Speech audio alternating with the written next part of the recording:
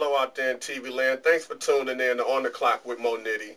I'm your host, Moe Nitty. Today's guest will be none other than Detroit teen heartthrob, Brandon Lockheart. How you doing tonight, Brandon? Pretty good, man. Thanks for having me out here. Uh, thanks for coming. Um, I'm going to get right into the interview, but before I do so, I have to set my clock. For the next seven minutes, it will be all about you. And as of now, Brandon, you are on the clock. Let's do it. So, Brandon, getting right into it, how would you describe your music as opposed to other young rap artists out here right now? I think the difference with my music as opposed to other artists out there is um, I want to bring a little more substance to the game than what you might typically hear from somebody my age. You know, I want to, I want to, I'm almost like a throwback, I would say, like uh, more like 90s style, Notorious Big, um, uh, Nas, guys like those. So I just want to bring a little more substance to the game, a little more lyrical content, something that everybody can feel. Okay, okay. I, I noticed that what you're trying to stay away from is the whole bottle popping scene that seems to have taken over the music era here in Detroit. Um, blowing money scene. Um, yourself, and I'm looking here, and then, you know, I had to go back on the, um, um, what's that, the Boondocks with Riley, where he say no homo. Uh, I'm sitting here as an older guy, got a young man in front of me. You're not a bad-looking young man. Appreciate No homo.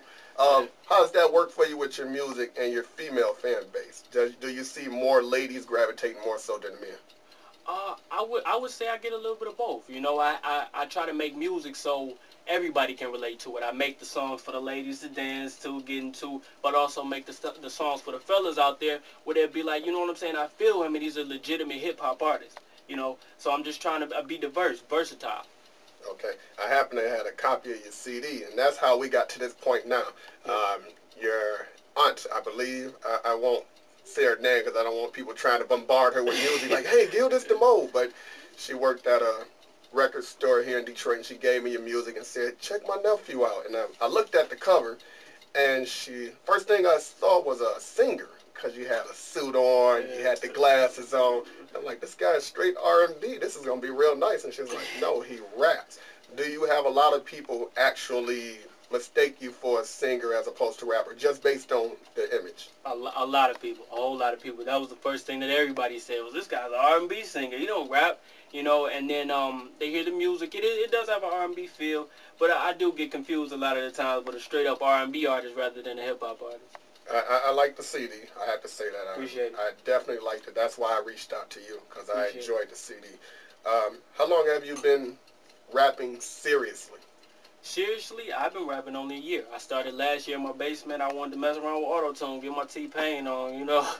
so I just just for about a year. I always like as a kid, I I would write, I would write raps, but nothing too serious.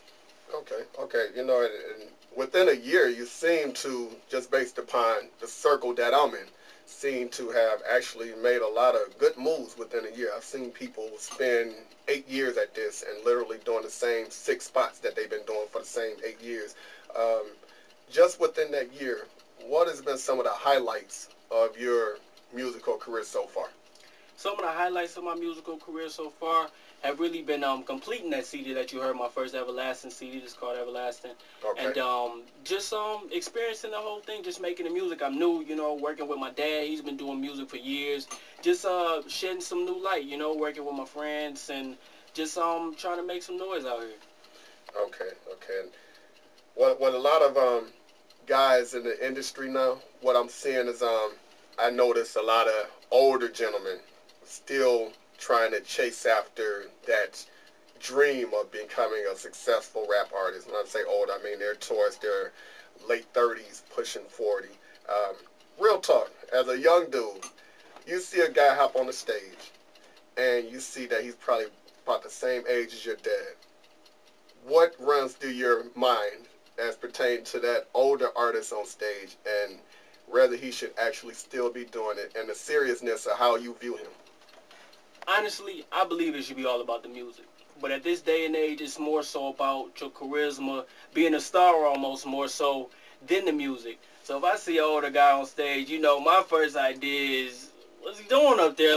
Like, you know. But uh, I, the type of guy I am, I give everybody a chance. I, I would listen to it. I would listen to it. If he has something to say, I would listen to it. Well, I'm older. You're better than I am. I don't want to see no guy my age, Superman, and I don't want to see him cranking it Yeah, up. nobody I, wants to see that. I don't want to wants to see him that. with But gym shoes with 12 colors on it. I want him to, you know, be his age and be grown. yeah, So uh, respect for everybody. I got respect for everybody. Everybody doing their thing out there. I'm gonna give you a chance. Everybody. That's good. Um, I also see that um, as a youth, you took up playing saxophone. Yeah. Which you know, a lot of guys actually in this music business now, they have no actual knowledge of how to play instruments. They just Fruity Loop artists, Right. basically. They'll cut and paste, cut and paste, cut and paste. They don't know the difference between an 808 and a bass line. Mhm. And so, that said, what is there any other instruments outside of the saxophone that you have knowledge of? No, I honestly only played the saxophone for a year. My whole family has really a musical background. My brother plays the piano. My mother, my dad, my sister. I'm the only one who doesn't really play an instrument. But um, what that did for me, it showed me that that wasn't my lane. You know, I was a little more artistic with it. I was a, I, I could write. I'm a poet. You know, okay. and I, I, I took that and kind of used it in a positive light where I could, you know, dictate what I wanted to do in terms of like writing rather than with my musical instruments. Um, I normally stay away from this question, but by you being young, I feel that I can actually ask this. How old are you? I'm only 18 years old. I'm 18.